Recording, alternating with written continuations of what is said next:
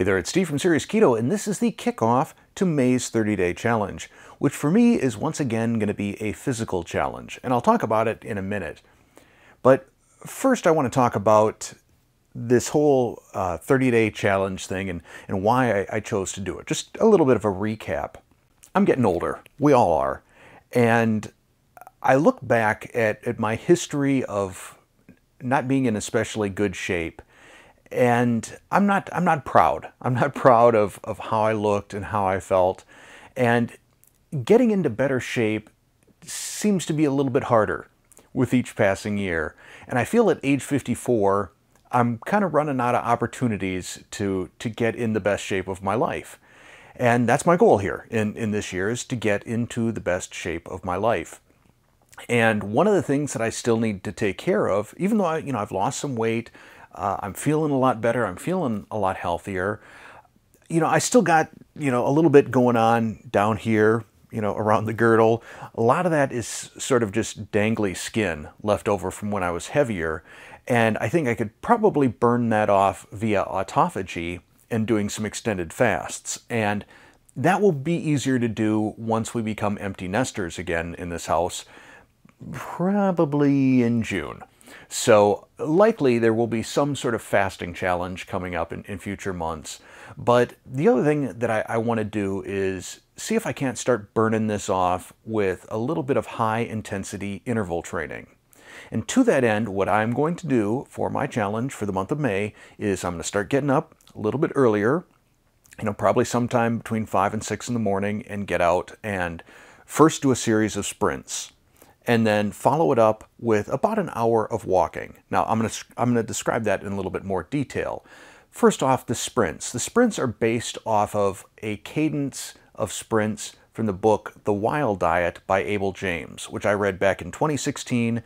He's really sort of on the paleo uh, spectrum of low carb. And I got the book, didn't really follow the paleo, didn't really follow the wild diet. But what I did try and do is some of the sprints. And the problem is here in Wisconsin, there's not a lot of great months for getting up at six in the morning to go out and run because it's often below freezing, which to me is just not awesome. But uh, I did the sprints anyway, and maybe calling them sprints is giving them more credit than they deserve because the first one, well, let me here, let me back up for a second. Here's how it works you have one minute of stretching and warm up. So I, I, would do active stretching. And in next week's video, I'll show you what all of this looks like. But one minute of active stretching and then 10 intervals of sprinting. 20 seconds on, so 20 seconds just sprinting full out, if you can do full out. And then 10 seconds of walking and trying to get your breath back a little bit. And you would do that 10 times and then finish with one minute of warm down, which for me was jogging, which basically, by the time I hit about the second or third sprint, jogging and sprint look about the same. I, I would joke that if you took a, a picture of me, a still frame of me when I'm doing the sprints, it looked like maybe I was sprinting. But if you watched it in real time, it it looked maybe like jogging. I mean, it, it kind of looked like running, but in slow motion. Think back to when in the 70s, if, if you were a child of the 70s like me, and we would play Six Million Dollar Man, and you'd be running in slow motion and, and making that noise, you know, that's kind of about the speed I was sprinting at. So I haven't sprinted now in six months because it's been winter in Wisconsin. Since the sprints are a set length of time, I measure my progress in terms of distance. And I, I, know exactly how far I typically am able to sprint over the course of this six minutes of intervals. And I know what my world record is. And since I haven't done this in six months, it will be interesting to see what impact, if any, the inspiratory muscular strength training that I was doing uh, as a challenge a couple of months ago, I'll link to that up there and, and maybe in the end card as well, did I improve my cardio enough by doing that, just sitting with this breathing device, that I'm going to see a difference in my sprints? It'll be interesting to see. What I typically do then after the sprints is I will walk for another 45 minutes to an hour. And this is a great chance for me to listen to an audiobook. My Audible library, I just went and I, I looked at it. I have 92 audiobooks that are either unstarted or in progress. So I have thousands of hours of audio to listen to. And this is a great way for me to do that while simultaneously getting some steps in, getting a little bit of exercise. Now, I don't plan on doing any more extensive running than just these sprints. I don't know how well my knees would handle it. I know there's a lot of debate about how good or how bad running is. If you enjoy it, then by all means do it. I'm not I'm not poo-pooing on running or cardio in general.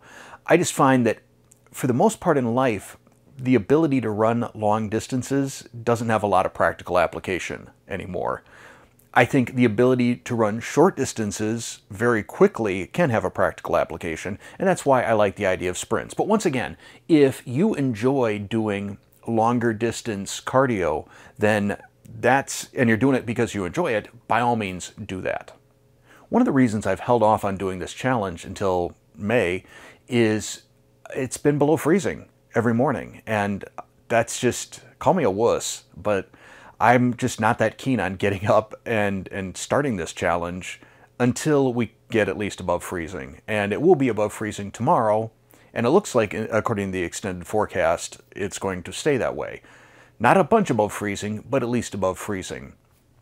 My commitment for this 30 days is regardless of the temperature, regardless of the weather, I'm going to get out and at the very least do the sprints. If it's raining and just above freezing, I'm probably not going to be interested in walking for an hour, but I will get out and do the sprints. And a thing that's helped motivate me and will keep motivating me to get out even when the weather is crummy to do these sprints is I'm currently reading this book, Can't Hurt Me by David Goggins. This is a powerful, powerful book about sort of mind over muscle and getting the most out of what you can do, what you can do with your body that you just don't believe or most people will never believe that they can do. I'm about a third of the way into this book and am absolutely loving it. I will say that if you have issues with profanity, including the prolific use of the F word, you should probably not read this because it is packed with that. But very inspirational. It's it's a sort of book that's going to make you mentally tougher. I already feel mentally tougher and I'm, you know, just over a third of the way through.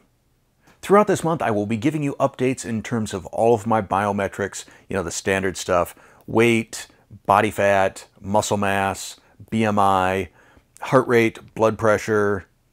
Is there anything else? If there is something else, I'll, I'll let you know. I may even, depending on how I look at the end of all this, do a shirtless picture. No promises.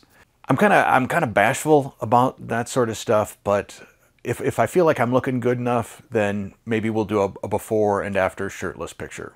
So now it's your turn. I would like to hear what you are going to do for your 30-day challenge. I would encourage you to do something physical. That way we're all doing something physical. Maybe you want to do something high intensity as well, or maybe you just want to go out for a walk, whether it's in the morning or after dinner with family. Your call. You let me know. I'll be curious to hear what you're doing and curious to hear your results as we go through the course of the month. But that's it for this kickoff. Thanks for watching.